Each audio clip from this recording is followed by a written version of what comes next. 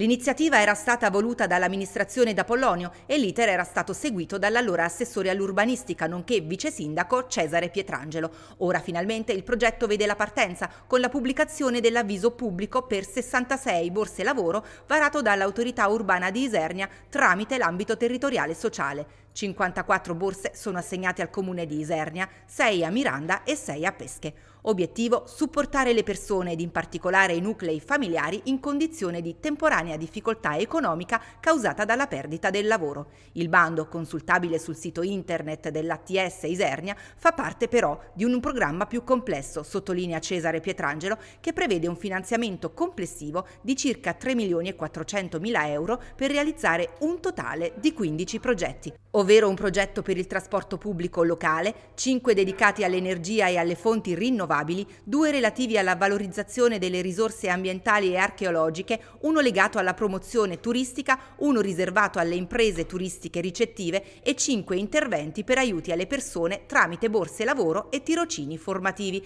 quest'ultimo per un importo complessivo di circa un milione di euro. Interventi ricadenti tra diversi settori, tra cui quello urbanistico, di qui la delega del precedente primo cittadino d'Apollonio proprio all'ex vice sindaco, che coglie l'occasione per ringraziare dipendenti e funzionari per il prezioso lavoro svolto, che oggi, sottolinea, vede la luce. Un piano d'azione importante che va ad intervenire non solo nella lotta sul fronte dell'inclusione sociale e del contrasto alla povertà, ma che contribuirà a migliorare i servizi presenti sul territorio cittadino. Quanto all'avviso pubblico, i borsisti saranno inseriti nelle strutture comunali e saranno formati e supervisionati da tutori interni. La loro attività prevede un impegno in termini di orario settimanale di 36 ore per una durata di sei mesi. Per quel che riguarda l'aspetto economico, riceveranno un'indennità di partecipazione di 600 euro lorde mensili, versate in rate mensili posticipate. Per partecipare al bando c'è tempo fino al 31 febbraio.